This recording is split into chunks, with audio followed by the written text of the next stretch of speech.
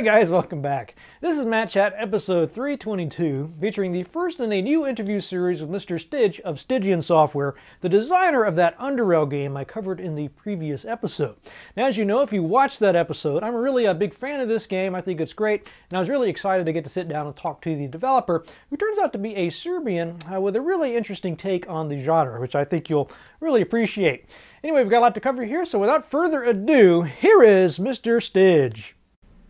All right, folks, I am here with the developer of a game called Underrail, which I hope you've heard of by now since I did a review of it last uh, episode. Uh, his name is Dan... Uh, we're just talking about the pronunciation is going to be hard for me, uh, so I'll just let you say the say your name, Dan. Uh, Dejan Radišić. Right, so you can see the trouble there. anyway, we'll just I'll just be calling him by his uh, nickname, Styg here. Uh, so, Styg, could you tell me a little bit about yourself? You know, how you got into this business and where you learned to code and program and all these things? Uh, well, I learned to code uh, mostly on my own. I was uh, first time I saw uh, programming was uh, in basic language and Q Basic for MS DOS, and I instantly got interested in what is going on, how does it work. So I started. You know, programming myself, and I'm mostly self-taught as a programmer. After Basic, I went into C++, and then finally C Sharp. Yeah, I remember that Q Basic, right? Was that the one with the gorillas? Uh, yeah, the, the, there's you mean a sample game? Yeah, a little sample game. I remember. Yeah, I remember it. Yeah, I was uh, I was too young to understand uh, how it uh, how it functions, so I just went on my own and tried experimenting on my own to recreate that sort of thing. And uh, later I uh, I got a job uh, writing uh, banking software. So and then I got into the C sharp .NET and all the all the Microsoft business stuff. Mm-hmm. You know, and at a certain point it just got uh, kind of boring to do. I was I was feeling like uh, I was uh, I wasn't doing anything important. I was waiting, wasting my uh, my skills. So I started doing a, a, project on the side, you know, just like a hobby. Yeah. I can see that. I mean, make a role playing game or make banking software. you know, role playing well, game, banking. So- you know, it's not about making banking software, but it's about making money. You know, oh, no, sure. no one cares about banking software. No one is passionate about banking software. I mean, well, maybe some people are, but. Uh, there's probably somebody out there really passionate about it, but yeah, my, my my boss was uh, really passionate about it, but I I couldn't understand it. yeah, me neither. Uh, so I assume you played lots of role playing games too. What What are some of your favorites? Well, I played all the classics, you know, like uh, Baldur's Gate series, Icewind Dale series, Arcanum, Fallout. Uh, I played Might and Magic series, the the later ones, like seven, eight, nine. Mm-hmm. Uh, a bit of Ultima when I was a lot younger, but I was uh, a bit too young then to to understand all the, the concepts of RPG and uh, how, how old are you, if you don't mind my asking? Uh, 30 years old. Okay, so yeah. So you played some of the Ultimas? Yeah, but uh, I I couldn't read English that well back then, and uh, and especially Ultima because it's written that uh, old English, you know, and yeah. Uh, so so I couldn't get that far uh, into the game. But it was an interesting experience, you know, with the open world and going around, doing all sort of stuff, messing with NPCs. So that that got me interested in that sort of uh, game. So you've always been a, on the computer side of gaming. Yeah, exclusively I on computer side. Just don't like the consoles, or, or what? Is, uh, I don't know. I I, I didn't have uh, I didn't have any consoles when I was young, so maybe it was just that. I don't know. I don't have anything against the old consoles. They they're sort of uh, world of their own. You know, you have a certain type type of game that uh, that fits the console. And today it's like they, they put everything on the console. It doesn't matter. You know, like uh, hardcore PC RPG uh, on the console, everything on the console. yeah, I think we're kind of on the same wavelength as far as that as far as that goes. Like I, I like uh, I like you know uh, Super Mario and all the stuff, Oh, the, sure. the console stuff. Uh, I love it, but to play something like uh, Underrail on a console, uh, just I don't know how would that work. I don't know. Not coming like to a the strategy, Xbox. One anytime soon. no. So I think you're the first uh, Serbian developer I've had on. I don't. I was reading uh, on the Wikipedia page about Serbia. It's very interesting history there. I know there's been some tragedies and, and that sort of thing. I just wondered, you know, sort of kind of paint a picture for me of what it's like to be a game developer in Serbia. So I don't know. I don't know, know what it's like to be a game developer elsewhere. So I I couldn't compare it, you know. But it's uh, I mean, is there an established games industry there? no, no, no. Well, like there, there's uh, there's industry for uh, Hopa games, you know, hidden object, point and click. We have uh, we have a big company doing that, and we have uh, one big uh, Facebook company. You might have heard of them. It's Nordeus. Mhm. They do like uh, like some uh, football management game. Yeah, they're really big, but uh, like PC games, not really. Uh, there was uh, like uh, I think one uh, game released for the PC in the, in the past that I know of, like a major release. I have a question here from someone named T on Twitter. He says, "Did the war in the Balkans 20 years ago influence you in the development of the game?" I read that question. Uh, probably, I don't know. I, don't, I couldn't tell any direct influence it would have, but maybe maybe I wouldn't be doing this if that didn't happen. I, I wouldn't be living here. Probably, I would be living in another city, and who knows? I don't know. I was kind of picturing in my my head that uh, Serbia was a sort of war torn place, but according to the Wikipedia page, the economy is actually doing pretty well.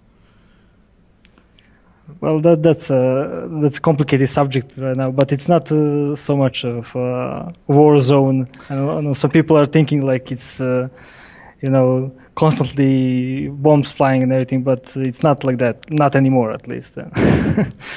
and it's uh, it's a good place to uh, to be an uh, IT developer. You know, I mean, programmer in general, because uh, a lot of uh, companies are outsourcing work here because labor is cheap.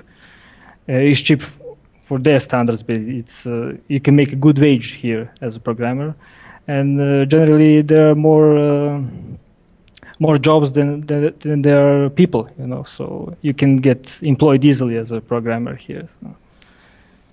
He also wanted to know if you'd rather write a game in your native language, and what it was like writing so much in the in a second language. Well, well, first disclaimer: I didn't write so much for this game. I wrote a bit in the beginning, and I kind of set uh, uh, set a framework for the dialogue, how, how it would work, uh, some basic gu- guidelines. But uh, most of the writing was done by, by another member that joined later. So he did most of the writing. Is he an English uh, English native speaker? No, no, no. We are, we are all Serbians. and uh, about uh, writing the game uh, in native language, well, yes and no, because uh, uh, it would be easier for me to write in Serbian, of course, and everyone here. Uh, and I think, uh, well, no offense, I know you're an English professor, but I don't find English language particularly uh, pretty. You know, but it's a kind of utilitarian language. I don't know if I said that correctly. It's it's easy to to mash up sentences from it. You you know. This all comes from German, old German, I think, is the origins. Yeah, but even uh, even German language, well, I don't know. They're they're both easy to, uh, you know, put together. You don't have many. You have a lot of tenses, but uh, the words don't change a lot between them, and you don't have any. I don't even know how it's called in in English. I think it's a case or something. You know, you have like uh, seven cases where the word changes depending on the case, and it would be like a headache to try to to like insert a word into a sentence like uh, player's name or something and not uh, mess that up you know you, you would have to have like uh, five words for uh, pl- uh, player's name or something and it would be a pain in the ass to do I was uh, really impressed with the, the writing. I would, you know, until I looked it up, know, learned more about the development team. I would have just assumed it was some team in America that put the game together. I didn't see any, you know, sort of bad grammar, bad punctuation. I mean, actually, I think I Oh, played uh, plenty of American-made games that had a lot worse, uh, you know, language English uh, than, than this game has. That's for sure. Well, we have a lot of uh, problems because uh, our language is uh, phonetic. So, you know, we write based on how something sounds, you know, and we will often uh, uh, interchange words in English like they are, you know, there and there, you know, and that, that sort of stuff because it sounds similar. And when you write at a rapid pace, like we had to because there's a lot of text in the game and there's like one guy writing it all he he made a lot of uh, you know uh, spelling mistakes and that, that sort of stuff well, you, I'm curious now. I'd like to hear some of your, your native language. Uh, What's it sound like? Pa eto, ovako ništa specijalno. What'd you say? There you go. I said it, it's nothing special, it's just, just a language. It's just like uh, most uh, Slavic languages. If you ever heard the Russian, it's a lot of like Russian, but uh, it's not so, uh, not so uh, hard on the accent. So, and we write in Cyrillic, so that's another thing that people would uh, find hard if we made a game in Cyrillic. I think most of the Western world wouldn't be able to play. That's amazing to me. I mean, this. I mean, the idea if I were trying to make a game like this, and I had to also write it in, you know, for for Serbian in a different Yeah, but, language. I mean, it must uh, be so hard. I can't even wrap my head around. Well, uh, you know, English is a second language to the entire world, so we know English well, at least uh, to read and uh, write a bit, and so it's it's not the same. Like you would have to learn language from the beginning, and I was learning English from like when I was uh, six year old. You know, it's it's not that hard. And as as I said, I mean, English is very easy to learn.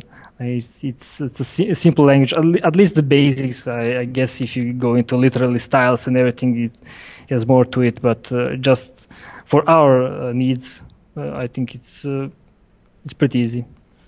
That's good. I'm glad that that's the case. Uh, so I'm guessing with any game like uh, Underrail, uh, you probably expected people were going to compare it to Fallout One and Two, and I saw some reviews that were comparing it to Arcanum, to all these, you know, Tim Cain uh, projects. Uh, I saw the phrase "the real Fallout 3" a couple times, and I just wonder what what is your uh, take on this? Do you are you uh, do you like to see that sort of? Are you happy about that these comparisons, or do you feel like people are missing the Uh, point? Does it actually anger you? I mean, Uh, I, I don't mind it because uh, in the beginning we were kind of going for uh, uh, I I mean earlier when uh, we were just starting out when I was just starting out I kind of advertised it as sort of a Fallout Arcanum game because it was it was an uh, it was the easiest way to describe it you know. So someone who would pick up the game would have an idea what it is. So I don't mind uh, like people comparing it to the Fallout or thinking it's a, a spiritual successor to Fallout. And in some ways it is because we we took a lot of uh, basic stuff from those games uh, and uh, built upon it. You know. uh, Fallout, uh, uh, people mostly compare it with Fallout, but uh, Underrail is a lot of a lot different from Fallout in a lot of ways. Because Fallout has very simple combat.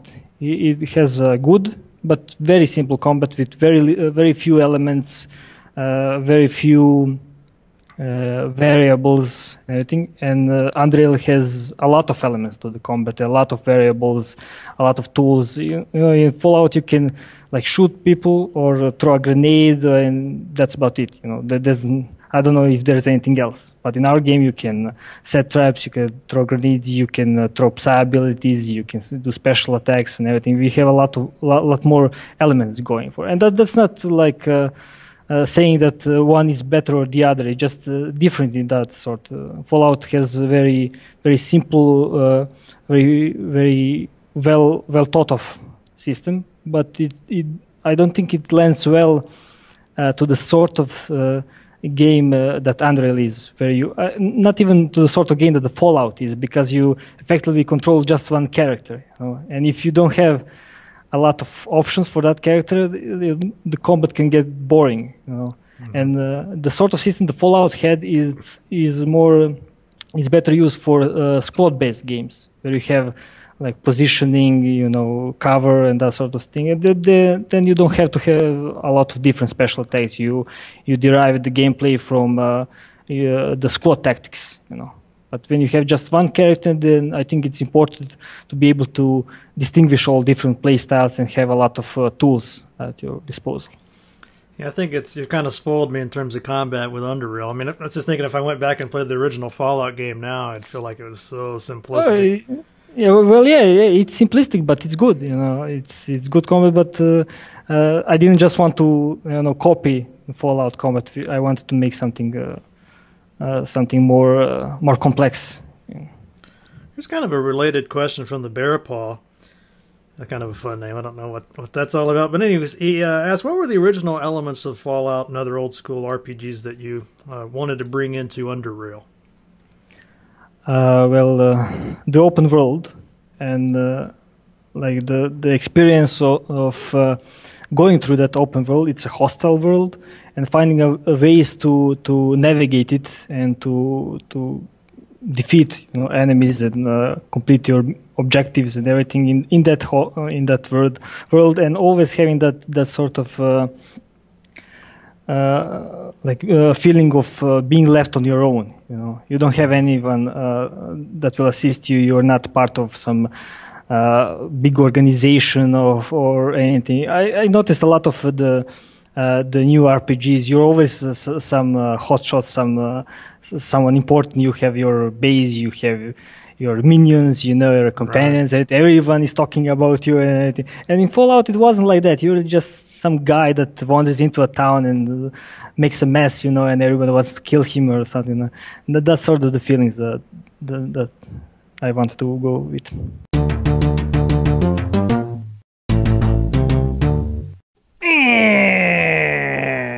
that's all for this week's episode. Hope you guys enjoyed that. Should have uh, at least one more, maybe two more episodes with uh, uh, Mr. Styg. Lots of great stuff coming up, so please stay tuned if you enjoyed this. The best is yet to come. As always, I want to thank you, thank you, thank you, thank you, thank you, thank you, thank you, thank, you, thank, thank, thank, thank, thank, thank, thank you very much for your support of the show. It really means a lot to me, guys. Uh, you know, just in case, if you haven't stepped up to the plate already, you know, why don't you make it a New Year's resolution, if you will, to support your favorite YouTubers, the guys that uh, do all the work to bring these shows to you, to interview people like Styg, give you the behind-the-scenes information uh, that you would otherwise miss out on.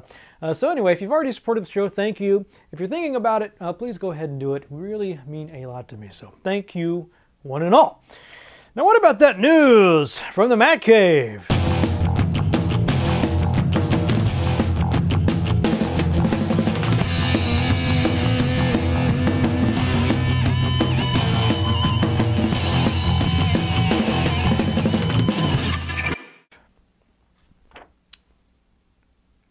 Quite a bit of news here. Uh, Shane Stacks, he's always you can always count on him for a story or two.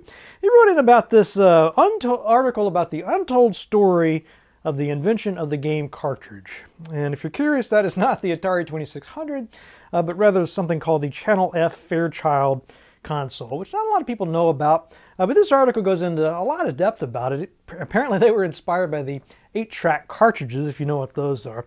Know, I thought this was a great article. I wanted to pass it along. It's by Benji Edwards. Uh, so I'll post a link to that in the show notes, so check it out. A couple other items. Uh, there was an article on Polygon about this guy, a Japanese guy, that left his uh, Super Nintendo plugged in, powered on for 20 years just to keep his save game. Now, uh, apparently the game in question was uh, some Japanese only thing, but I thought that was kind of cool. Apparently it was on for over 180,000 hours. You know, the, the least people will go to to uh, keep from having to redo their game, I guess. And then uh, Richard Moss over at Rock Paper Shotgun wrote a, a, really cool article about the modding community of Age of Empires 2. Uh, so that game is still thriving, you know, even it's been 16 years, but uh, the article it kind of goes into detail about this modding community, what drives them, and the sort of challenges they face. And I thought it was really cool, so I thought I would post a link to that too.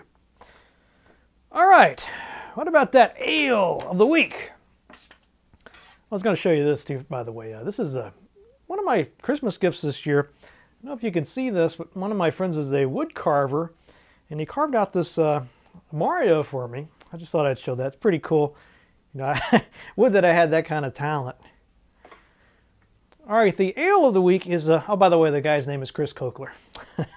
I think he might do these, uh, he might be willing to make you one. I don't know what, you'd have to talk to him about pricing, but uh, if you're interested in something like that, let me know and I'll pass it on. Anyway, about this ale, we got the New Belgium Blackberry Barley Wine Ale, and I'm a huge fan of barley wines. One of my favorites, right up there with the triples. Uh, this is a blackberry one, uh, so I'm kind of curious how that's going to work out. It's by the Lips of Faith series. It's uh, let's see. Alcohol 10% by volume, so definitely on the stronger side. Let's see. Smooth as the silk ascot you should be wearing while sipping this barley wine, brewed with fresh blackberries. A trip under your nose reveals aromas of toasted oak, caramel, toffee, and bur burgundy. Sip with purpose. Well, I don't have a silk ascot, but I do have a really awesome plague rat belt buckle from Australia, uh, by courtesy of Alchemy. Uh, unfortunately, it's the very last one in existence. So, sorry guys, but uh, you know what can I say? Okay, uh, New Belgium Brewing, Fort Collins, Colorado. Ale brewed with black uh, blackberries. anyway, let's get this open and see what it's all about. All right, so I got some of this New Belgium Lips of Faith uh, blackberry barley wine. I can say you can definitely smell the blackberries in this, a very fruity aroma.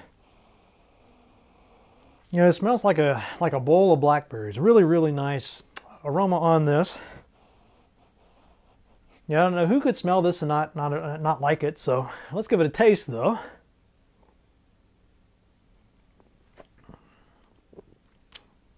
Well, those blackberries are really. Um, it's almost like a spoonful of uh, blackberry jam on this. Uh, not a lot of uh, alcoholic taste at all. Uh, just a really sweet. Um, uh, blackberry, I mean the blackberries are really infused uh, really well into this.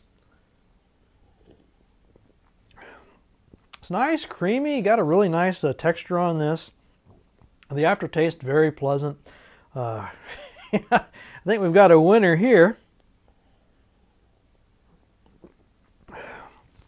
Yeah, just a fabulous uh, choice here. It's kind of like a champagne with blackberry uh, sort of uh, taste is what I'm getting from this. Really, really good. No alcohol fumes, uh, no blowback.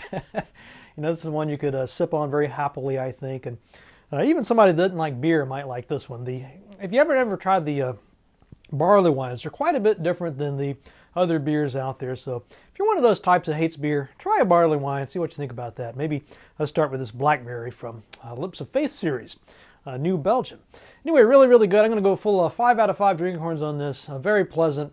Uh, wonderful taste on this, especially, well, if you like blackberries, that is. If you hate blackberries, uh, you might want to go somewhere else, but otherwise, I think you will enjoy it. So, 5 out of 5 drinking horns on the uh, Blackberry Barley Wine Ale, Lips of Faith Series, New Belgium.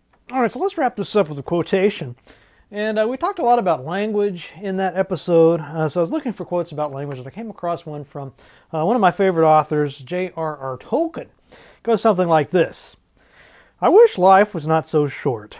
Languages take such a time, and so do all the things one wants to know about. See you guys next week.